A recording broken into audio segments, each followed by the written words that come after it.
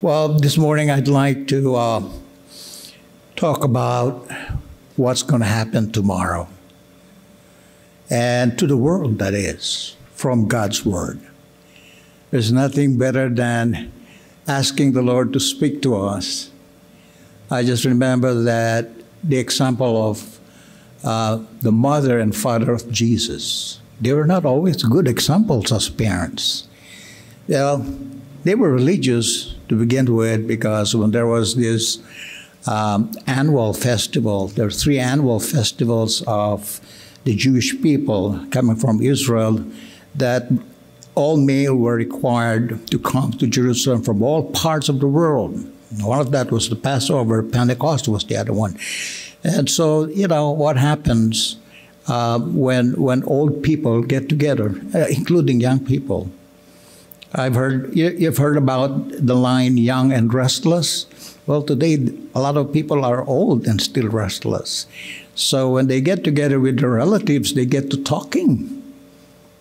Uh, there's nothing wrong with that except for one thing. They were there for official business. Not only official business, they were there for a very important thing. Not just to attend that festival, but they had with them the Son of God and his name was Jesus. Well, apparently we tend to forget what we have. And we only realize how important it is when we suddenly lose it without any prior notice, such as opportunities, and our children and our fellow church members, and the opportunity to come together while we still can. And so as they met with their old friends, old familiar faces, they started talking and talking and talking and talking. And before they knew it, the whole thing was over. It's time to get home. A man head back home. Doesn't last forever. And so, uh, you know, they started to look around for their son. Of all things, they forgot about their son when they got together with their friends.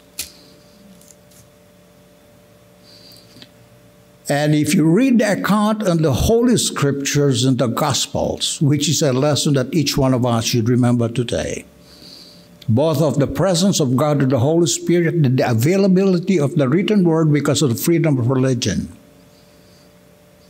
they started looking for their son, the Son of God. They only found him three days after. If you don't ask for the baptism of the Holy Spirit today, you will miss it by three days.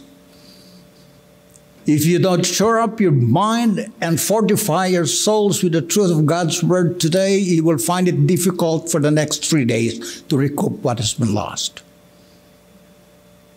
It's one day at a time. You lose him one day, you've lost actually three of his actual presence.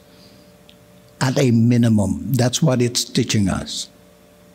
And I want to convey this to you because we're running out of time. This is the topic I've been studying now with you. We're running out of space. We're running out of opportunity. We've got people that have been dying left and right. The question is not what they died of, but whether they be prepared to die.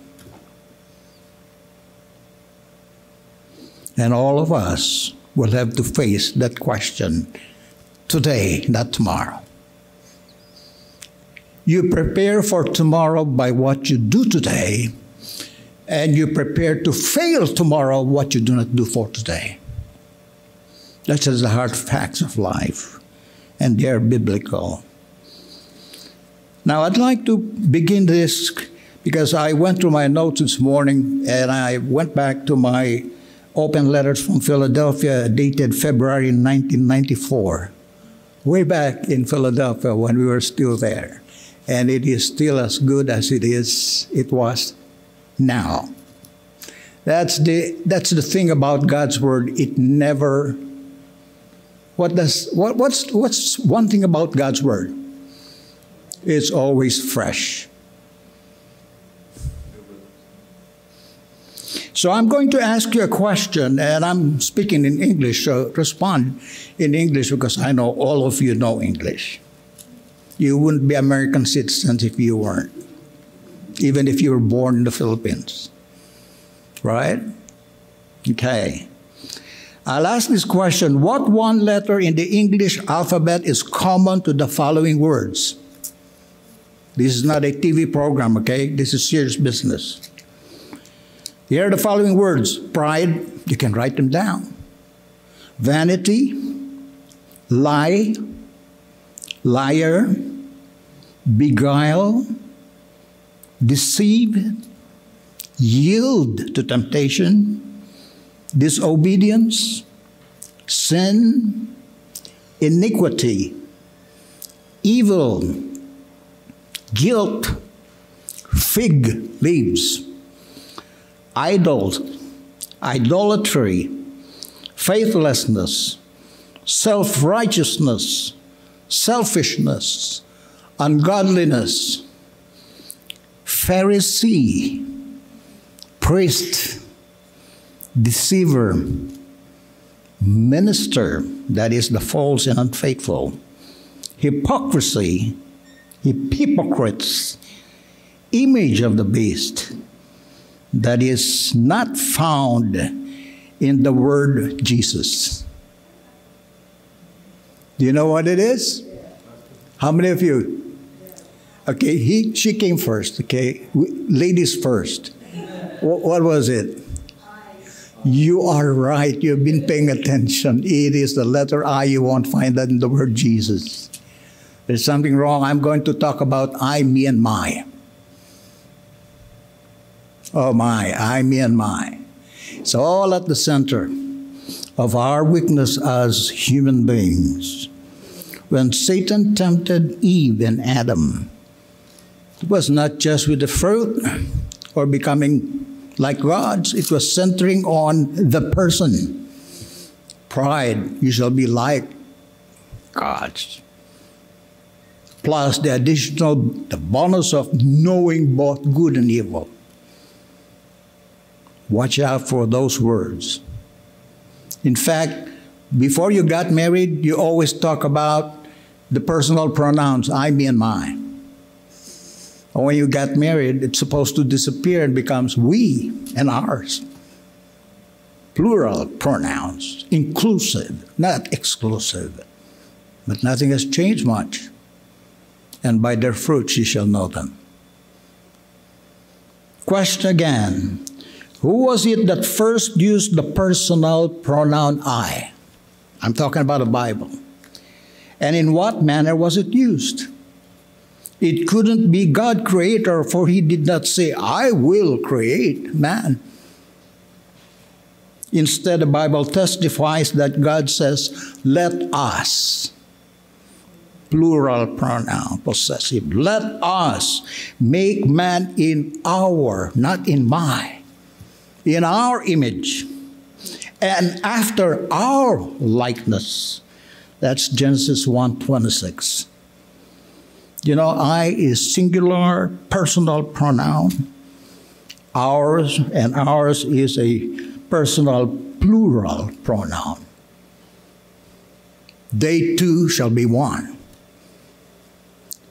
And a two, threefold cord is better than two, as it says in the Proverbs. Question Who was it who said, I will ascend to heaven? I will exalt my throne above the stars of God. I will sit also upon the mount of the congregation in the sides of the north. I will ascend above the heights of the clouds. I will be like the Most High. You better read Isaiah 14, verses 12 to 19. It is written, but know your Bible and know how to use the Bible. Who was it upon God, upon God declared through his prophet?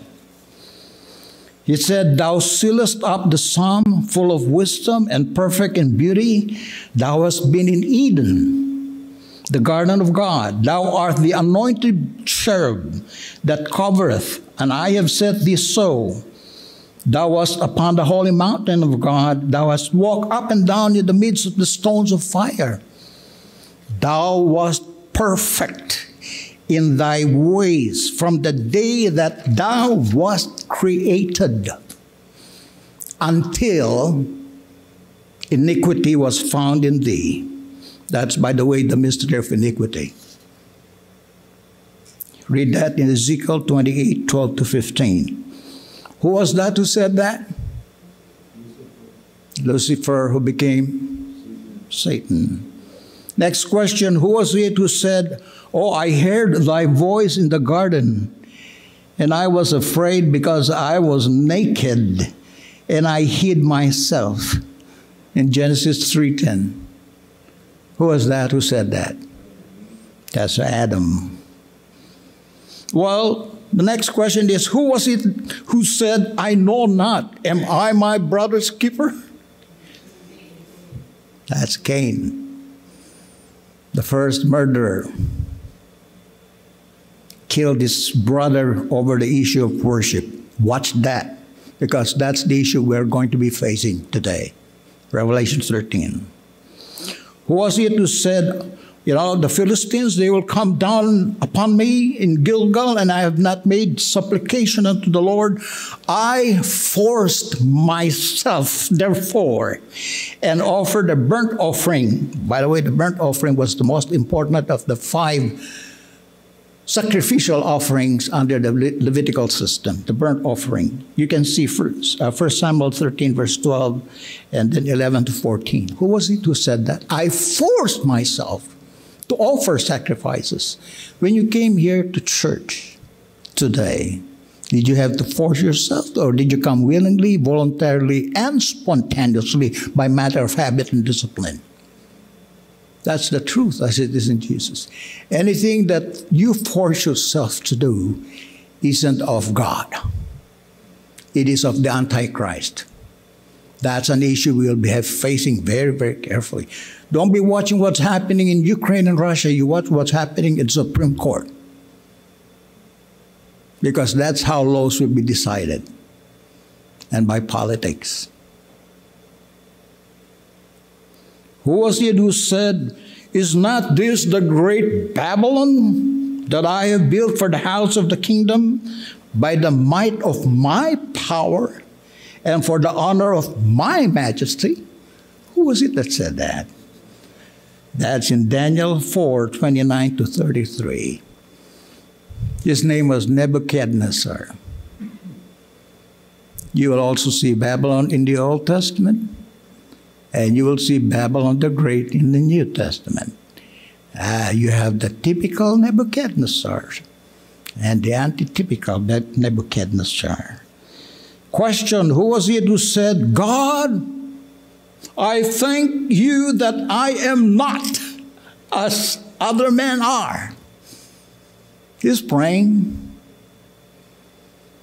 They are extortioners, they're unjust, they're adulterers, or even as this publican here, eh, tax collector, they, yeah, IRS agent that is. Because I fast twice a week. I give tithes of all that I possess. Luke 18, 11, and 12. Who was that who said that? Religious leaders, the Pharisees. Those who say, I am more, I am more religious than you are. There's a difference between religi- being religious and being spiritual. They're not one and the same. One is a counterfeit of the other. Don't tell people I'm very religious. Ask them, are you spiritual? Apparently, they aren't spiritual because they don't talk about religion. Religion never saves you. We were just discussing this early this morning. The outpouring of the Holy Spirit is why Peter could say and write under inspiration. He says, Be ye therefore holy, for Jesus said, Because I am holy, and without holiness no man can see God. That's sanctification.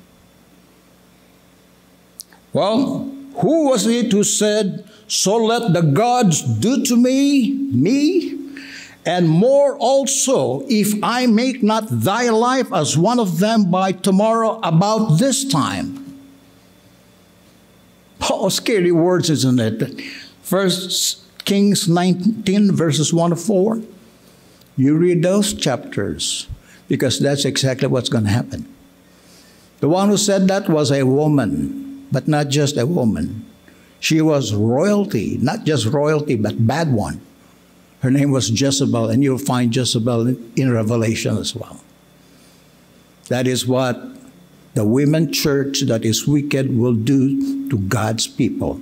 She was speaking to Elijah, the second man translated to heaven without tasting death. And we need the Elijah message today because it's the John Baptist message. It is the third angel's message.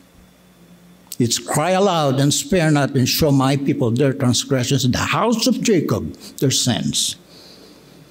And then who is it who says, I am rich? I am rich and increased with goods, and I have need of nothing. To read Revelation 3 17 and the whole chapter on the church of Laodicea. The faithful and true witness, which is the Holy Spirit, says in that same chapter, You said that? Well, I'll tell you the truth. Are you willing to listen to the truth? Set you free from your blindness. It says, Thou art wretched, miserable, poor, blind, naked. That is what the Holy Spirit is revealing to us today. And I thank God for the spirit of prophecy, which is a testimony of Jesus. It showed me way back when I was still in Philadelphia writing these studies. She says that message to the Laodiceans applies to those who do not apply it to themselves. And when I read it, I had to read it again. I saw it in a different light. It says, boom, it hit me right here. I almost collapsed. I says, here thinking I was doing right when that message is for me. If you think you're doing right, I'm doing nothing wrong. That means you're doing everything right you better read the Laodicean message. It is the rejection of the Laodicean message that caused the shaking and would lead to the final sifting by the trial of temptation and the trial of persecution, which is coming. Now, let's turn to Revelation 18, verses 108 this is not the last of the questions we should ask, but this is more than enough for us to proceed on our topic this morning. Let's turn to Revelation 18. It's also a question, but this time I want you to read it for yourself because this is the last of, of all these questions we should be asking corporately. Because we belong as individuals to a corporate situation, whether it's a family, a church, a nation, a country, whatever it is. And God addresses all levels, inside out, from top to bottom. No one is spared. Cry aloud and spare not. God is no respecter of persons. So let's turn to Revelation 18, and we're going to read verses 1 to 8, and you read the rest of the chapter. Because the question I am raising up here at this point to end this questioning who is it who says that is in the end. And we're living in the time of the end. And the Revelation 10 mighty angel says, Time no more. The mystery of God will be finished. The gospel will be finished. The gathering of God's people will be made at this time during the days of the angel, leading to the first, the second, third angel's message. Who is it that says in the end, who says in her heart. So God reads the heart. See, he didn't say in words, but her actions speak louder than her words. Who is it that saith in her heart, I sit as a queen? That's royalty. I'm no widow. I have husbands. It's religious, therefore it's a church claiming Christ as the bridegroom, isn't it? And I shall see no sorrow. Well, that's what it says. What does God say? It's not what you say, it's what He says that matters in the end. Not He said, she said, but what does God say? Again, in any given confrontation and problem, as simple or as complex as they are, there are always three sides her side, my side, and God's side. Whose side is it that matters in the end? Only God's side. So let's see in Revelation 18, verses 1 to 8. And after these things, I saw another angel. Oh, we've been talking angels from the beginning. Different kinds of angels, all doing God's appointed work for them, for us. Some are angelic angels, some are human angels, and some are evil angels. We should know the difference between the three. After these things, I saw another angel come down from heaven. Oh, holy angel, having great power. It's almost like what you read in Revelation chapter 10. And the earth was lightened with his glory. Verse 2 says, And he cried mightily. See that crying now with a loud voice? The same thing. Cry aloud and spare not. In Isaiah, it says, what was he saying with that with a strong voice? Babylon the great is fallen, is fallen, and has become the habitation of what? What does your Bible say? devils. Habitation is home, headquartered, abode, residence of devils. That Babylon is what is being pointed out here. The habitation of devils, the hold of every foul spirit, and the cage of every unclean and hateful bird. It's covered all levels now. There's no escaping this. This is judgment. This is a pronouncement made by an angel come down from heaven. It's upon Babylon the great of the last days. Why? The reason is given. Judgment has been determined, and the verdict says why. This is the reason why for all nations, so nobody can say, I'm not included here. I'm not into religion. You don't have to, but you're still going to be part of that because you're part of the earth and part of one nation. For all nations says, for all nations have drunk of the wine of the wrath of her fornication. Fornication means when two bodies that are never supposed to come together come together, whether they're human beings or institutions or churches. Fornication. And the kings of the earth, they're also identified elsewhere in the scriptures as the great men of the earth. You know who they are, you read them all the time. You even emulate them. You even idolize some of them. Oh, they're so rich, bloody rich. One become just a little part of it. Give me some.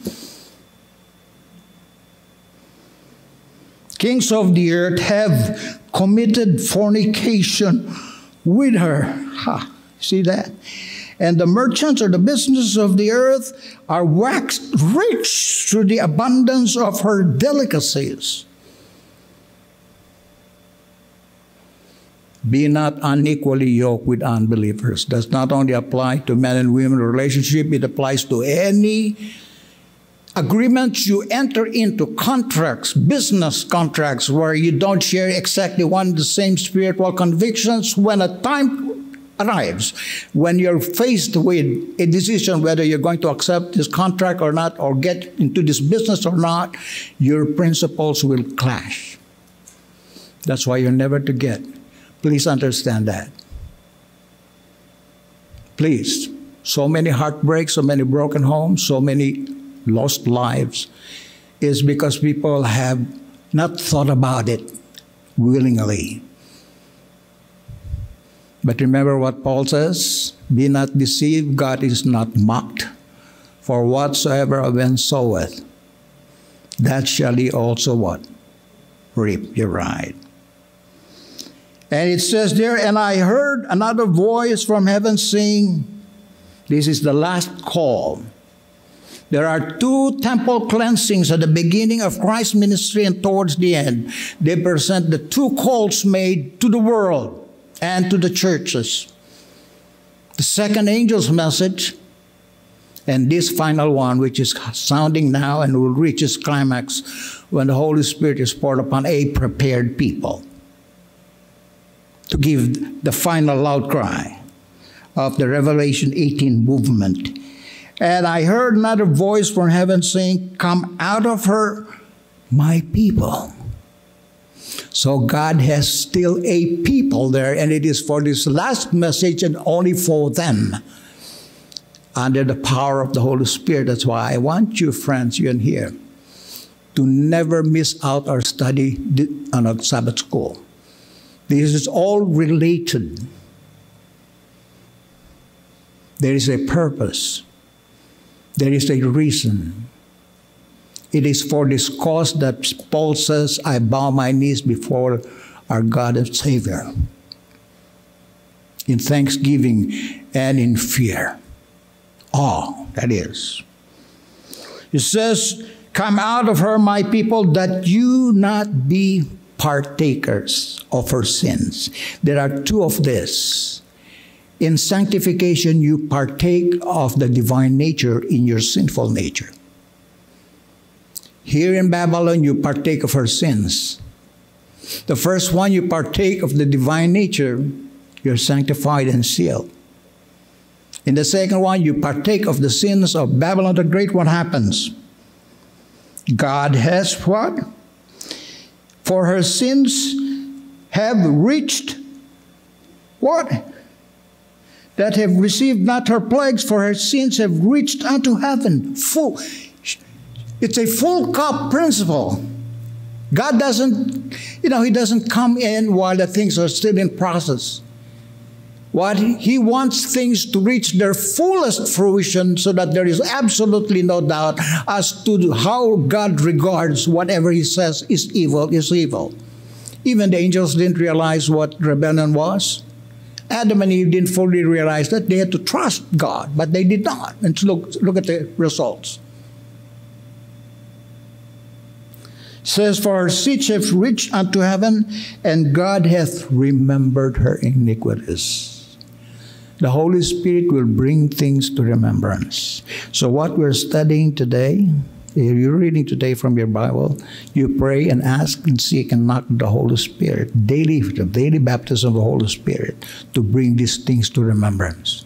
Because you will have to proclaim this under the power of the Holy Spirit and the loud cry of the fourth angel. This is serious business, man. It's a matter of eternal life and eternal death, not just eternal life, not just life and death, but eternal life and eternal death. And so what happens? God says, What you sow, you shall reap. Behold, I come with my reward. It's right there. There's a reward waiting for this Babylon the Great for what she has done to the nations who says, For her sins have reached into heaven, and then reward her. Verse 6 even as she rewarded you. That's called the golden rule. You expect to do and say things to others and don't expect that to come back to you? You're living in a different continent, man. Different planet. It's not reality. That's a lie and no liars go to heaven. For her sins have reached unto heaven, and God hath remembered her iniquities. Reward her even as she rewarded you, and double. That's what makes me a little concerned here. Not just tit for tat, it's twice the amount. And double what? Unto her double. Double unto her double according to her works. Oh, in the same way that Jesus says, Behold, I come and my reward is with me to give every man according as his work shall be, so shall it be. God is consistent across the board. It's the same yesterday, today, and forever. He is predictable. He doesn't change his mind. What he was with Adam and required of Adam and Eve, he requires you and me today. Doesn't have double standards. Doesn't move goalposts.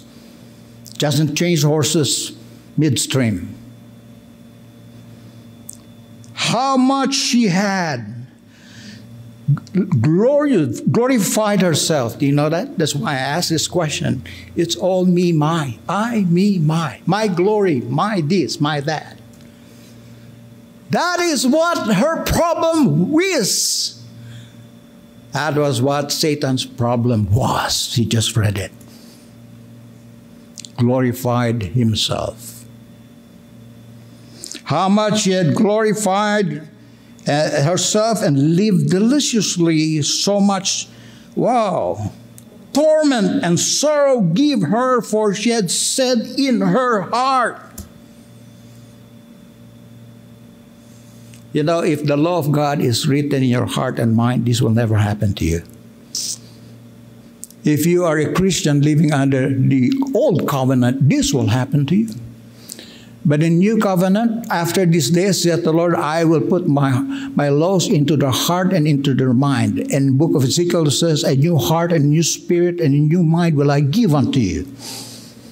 And replace that heart of stone into a heart of flesh. Only then is the image of God restored. Don't ever tell a person that the person must act like God because he was created in the image of God. When God says God created man in his image, he was talking about creating man in his image, not animals nor angels.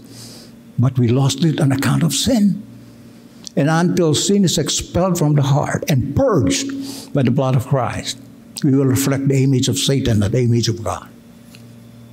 You better be clear on this. That's why there's so much confusion going on in our minds and in the world today. Cry aloud, spare not. Show my people their transgression and the house of Jacob their sins. That's the message of the Revelation 10 angel, the message of the first and the second and the third angel, especially the message of the fourth angel of Revelation 18. Do you follow, friends? how much she hath glorified herself and lived deliciously so much but so much torment and sorrow give her for she saith in her heart i see it as a queen that's like jezebel. The persecuting church. I am no widow and i shall see no sorrow therefore shall her plagues come in one day death and mourning and famine, and she shall be utterly burned with fire. Why? Praise the Lord. For strong is the Lord God who hath judgeth her. God judges nations, God judges churches, God judges denomination, God judges countries, God judges, judges communities. Remember, you're a light in any place that you are. Whether it's a community, a neighborhood, or a family. Jesus said to his disciples, You are light and the salt of the earth. And you shall be an influence for good, a savor of life unto life, or else you become a savor of death unto death. That's why your works to follow them. You see that? Job has long been dead, centuries ago. But this man who was called the most meek man in the East, or the, the most perfect man. The book of Job, his life still reverberates today. Long after we have died, and many will be dying, I don't know how soon, but long after we have died, our influence would be just like throwing a pebble in the middle of pond, creating ripples, not knowing how far these ripples will go. The sun has set eight minutes ago and we still see the afterglow. Our works outlive our lives. That's why it's the works that will be judged. And then based on the records of God's Word. I will go rapidly through this because we have to touch on what will happen tomorrow according to research. It's old research. You, you'll find it. If you really want to do research, you will find it. Everything's available today, both good and evil. You choose that which is good. Filter it out because evil is more pleasurable to our fallen nature. And the law of God is enmity against the Holy Spirit. You can't have both of them. One must go. And you make the decision as to which goes. The book that I had was The Two Babylons by the Reverend Alexander Hislop. Oh, a scholar. You should read his book. From ancient to modern Babylon, from the Babylon of the old to mystery Babylon the great, the mother of harlots and the abominations of the earth and her daughters, Revelation 17, verses 5 to 7. Do you know who she is?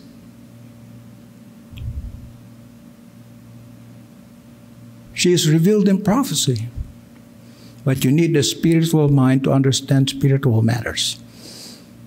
Because Satan has set about to deceiving people, distracting, deluding. They're going this way, it says turn right, when in fact he switched it, it was supposed to be turn left, so he ended up somewhere else. That's what he has been doing. Here are the two Babylons, and I'm going to number them, some of them, I, this is a long one, but enough for us to be able to reach for tomorrow's event. The word alma mater means Virgin Mother. You know that? That's from the book. I'm gathering this. That's from the book, page 76. The halo, you see that over the heads of supposedly saints? They come from sun worship. That's the two Babylons, page 87. The trinity of Babylon was Nimrod, Semiramis, and Tammuz. The trinity of the Church of Rome is Jesus, Mary, and Joseph. That's the two Babylons, page 8 and 9 candles being used for worship. They're, they were came, they came from Babylon. That's from uh, two Babylon's pages 97, 191 to 197. They're extensively researched, and you have to read that. You'll be you'll not only be informed, you will be educated because we need an intellectually and a spiritual mind such that we cannot be moved even if anything and everything that Satan does to his agents is, is thrown as a phalanx against us, just like Martin Luther had to stand alone. Moses had to stand alone with the Pharaoh's court. So did Daniel and his three friends. Christmas. Oh boy. Great. I mean, he says, all right, so you're going to deal with that again? I have to, friends. It's cry aloud and spare not.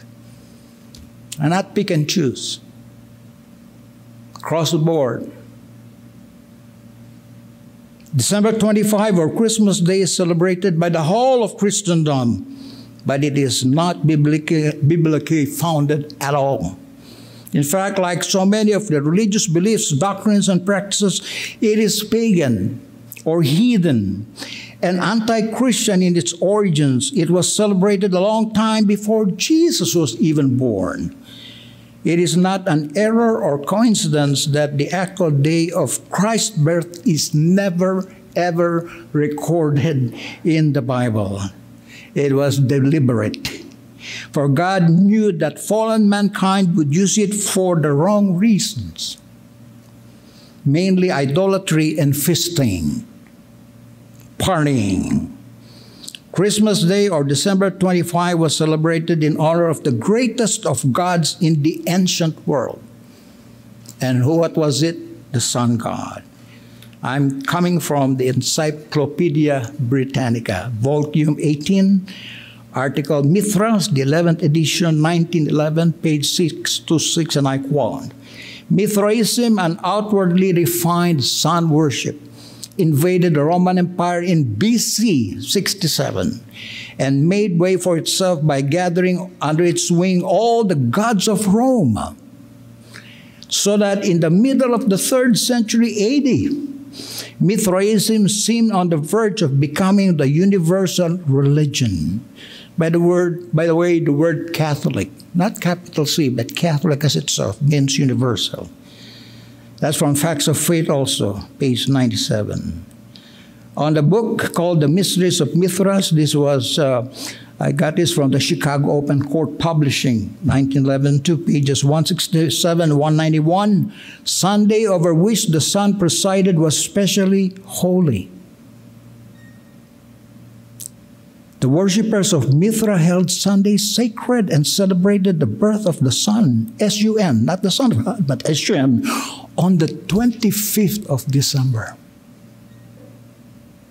Now, since Mithras, as the sun god, the unconquered, and the sun that was the loyal star, that religion looked for a king whom it could serve as a representative of Mithras upon the earth. And who did they point to? The Roman emperor. He seemed to be clearly indicated as a true king, but in sharp contrast to Christianity then, Mithraism recognized Caesar. That's the title of the Roman emperors. Recognize, that's not Brother Caesar, by the way, I'm sorry. It's Caesar, the title of the Roman emperors, as the bearer of divine grace. And its votaries, or the faithful adherents and worshippers, feel the legions of the civil service. Do you, do you hear that? The state run institutions and services were operated and run by the worshippers of the sun. What a terrible combination. And you are watching that develop rapidly in the coming days. This is what you and I should be studying, researching, and preparing for intellectually and spiritually by the Holy Spirit through the written word. And focus, don't get distracted. It had so much acceptance that it was able to impose.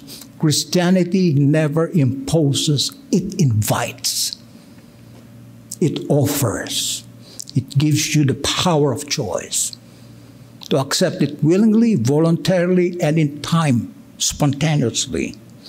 It was able to impose on the Christian world then, and I would say now, its own Sunday in place of the Sabbath as the birthday of Jesus. That's the history of Christianity in the light of modern knowledge, chapter 3, cited in Religion and Philosophy in 1929. Way back there, we had so much information available.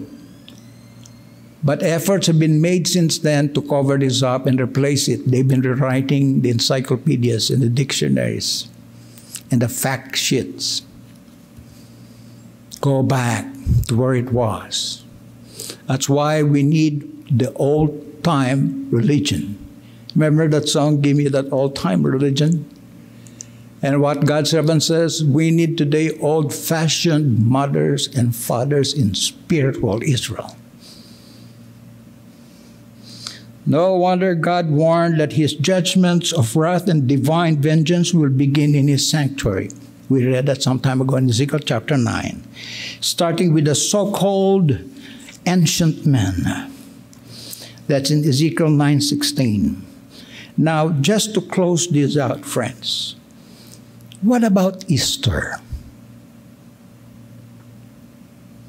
The word Easter can only be read once in the whole New King James Version.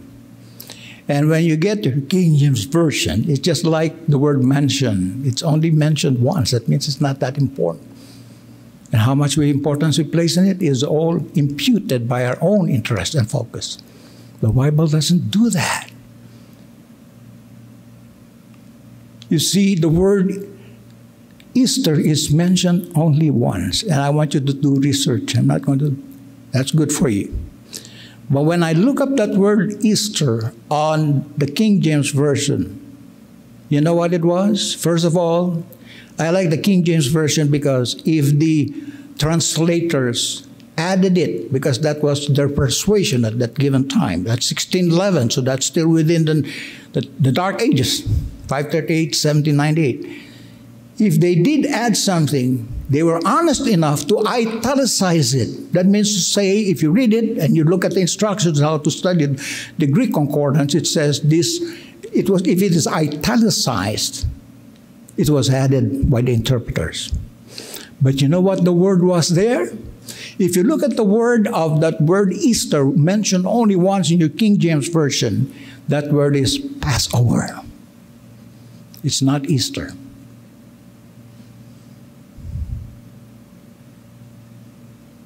That will only come if you're looking for the truth, it will reveal itself. So here, Easter. Originally, it was the spring festival in honor of Eastra, E A S T R A, or Ostara. And who was Ostara or Eastra? She was the Teutonic goddess of light and spring.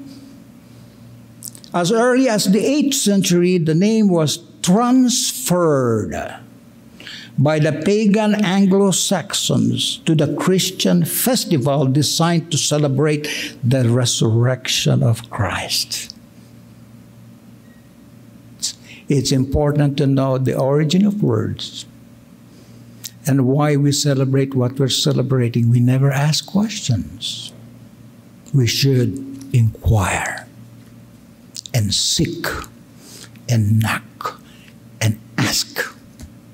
The Holy Spirit will teach us. The other names of Eastra and Ostara are the modern or the modern Easter, okay? Easter is Ishtar. And who is Ishtar? Ishtar was the wife of Tammuz.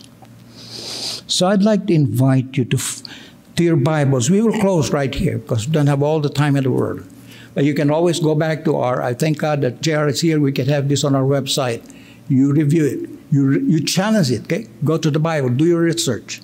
Don't just, oh, well, he said it. Don't ever quote me. You go to the Word of God. Let's turn to Ezekiel chapter 8. It's about time we did this, friends. This is how they did it in the olden days. They give them, give them peace and safety message. No, no. Let's turn to Ezekiel chapter 8, and then um, we will not do as much as we can here, but we should touch on the very important things that are found here, okay? If you found it, you kindly say amen. Okay, now be ready, okay? Put on your seatbelt. We're going for a trip right here. Ezekiel chapter 8. I'm going to read and you verify everything I am sharing with you on your Bible. Okay. Ezekiel chapter 8. And it came to pass in the sixth year, on the sixth month, in the fifth day of the month, as I said, that's Ezekiel, in mine house, and the elders. Oh, somebody talked about the elders this morning.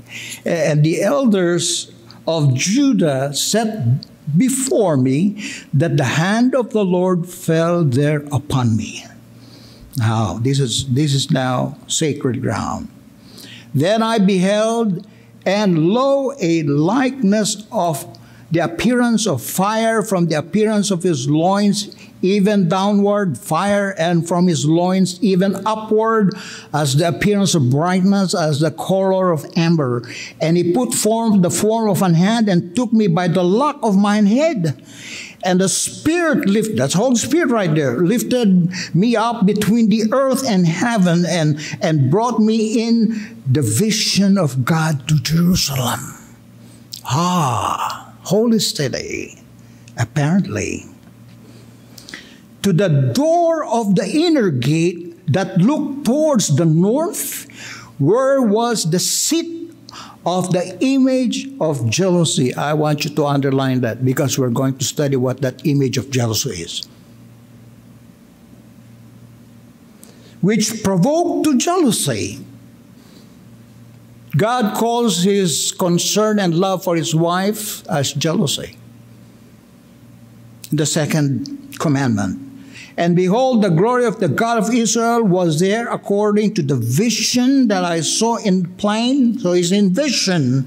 Then said he unto me, Ha, son of man, lift up thine eyes now and wait towards the north. So I lifted up mine eyes the way towards the north, and behold, northward at the gate of the altar, this image of jealousy in the entry. This is present truth. He said furthermore unto me, Son of man, seest thou what they what they do? Do you see what they're doing? Even, and this is in Jerusalem. And, and it says, even the great abomination the house of Israel committeth here, that I should go far off from my sanctuary, but turn thee yet again. There's more, he says. Ezekiel, you got to see more. There's more here. Thou shalt see greater abominations. And he brought me to the door of the court, and when I looked, and behold, a hole in the wall. Have you ever tried peeking to a hole in the wall or to the keyhole? Don't do that. Okay. Those are peeping toms. Then said he unto me, Son of man, dig now. Right? You're going to go deeper now. Dig now in the wall. And when I had digged the wall, behold, there was a door. And he said unto me, Go in. That's true the vision. And behold, the wicked abominations that they do here in Jerusalem. So I went in and saw, and behold, every form of creeping things and abominable beasts and all the idols of the house of Israel portrayed upon the wall round about. And there stood before them seventy men. Right? These are the counterfeit of the 70 elders that Jesus raised in his time. And they are of the ancients, okay? Of the house of Israel. And in the midst of them stood Jaazaniah the son of Shaphan, with every man his censer, also the priest in his hand, and a thick cloud of incense went up. They're in an act of worship. Then said he unto me, Son of man, hast thou seen what the ancients of the house of Israel do in the dark? I can see them, you can't. I'll show them what they're doing. Every man in the chamber of his imagery, I can read their minds. For they say, The Lord does not see, he seeth not. The Lord has forsaken thee. He hasn't. He said also unto me, Now turn ye yet again. I've got to show you more, Ezekiel, man. And thou shalt see greater abominations that they do. Then he brought me to the door of the gate of the Lord's house, and which was towards the earth, the north, and behold, there sat women weeping for Tammuz. You better know who this is and what that represents, friends. Okay? Then he said unto me, Hast thou seen this, O Son of Man? turn thee yet again, and thou shalt see greater abominations than this. And this is the greatest one coming up. That's why I want you and I to study this topic very carefully. They have not been discussed publicly, but we must do it. It's time that we did. And he brought me into the inner court. Now, I've talked about the sanctuary, right? Inner court of the Lord's house, and behold, at the door of the temple of the Lord, between the porch and the altar, were about 25 men. How? So let's be careful the way we deal with these numbers, okay? 25 men with their backs towards the temple of the Lord and their faces towards where? The east. Have you heard about Easter Sunday worship? Yes, this is what it was. And they worship the sun towards the east. Verse 17, then he said unto me, Hast thou seen this, O son of man? Is it a light thing to the house of Judah that they commit the abominations which they commit here? For they have filled the land with violence. Take note of that. That's why we have so much violence happening today. With violence. And they have returned to provoke me to anger. And lo, they put the branch to their nose. They go like this, they're making fun of it. Therefore, that's like we read in Revelation 18. Therefore will I also deal in fury. Mine eye shall not spare, neither will I have pity. And though they cry in mine ears with a loud voice, that's a counterfeit loud voice there, yet will I not hear them. You read Ezekiel chapter 9 one of the strangest and scariest the whole chapter. But you should read it in the whole context. It involves everyone here. And as well as all those who say, I, that I have nothing to do with that. You're given an opportunity to understand how God deals with this. So it's up to you to decide, friends. It's mercy, it's love, it's grace. So, with that, we still are barely halfway with our study this morning, but I pray to the Lord that we will ask, seek, and knock for the Holy Spirit, for He is being withdrawn already. The fact that you see what's happening to the world is the very evidence that the Holy Spirit is slowly being withdrawn. And He will be fully withdrawn, probation will close upon the earth. My prayer is that before he is withdrawn, we would have received the seal of the living God upon our foreheads. Let's bow our heads in prayer. Father in heaven, we thank you, Lord, that you gave us this opportunity to study your word. Not as we did before, careless, listless, with no focus. But thank you that the Holy Spirit has led us here. It is a message that John the Baptist gave that Elijah gave both to the people of God in those days and in their time and in their dispensation. And in our final generation, all those messages are combined in the first, the second, and third angel's message. Help us to understand it and to apply it and to share it according to the movings of the Holy Spirit, that it may produce the desired results and that the end may come earlier. It has been so long delayed if we want Jesus to come. Behold, he says, I come quickly. It's been taking so long, so much suffering and pain, so much discouragement, so much falling away. Arrest that, Lord. Please have mercy on us. In Jesus' name we pray. Amen.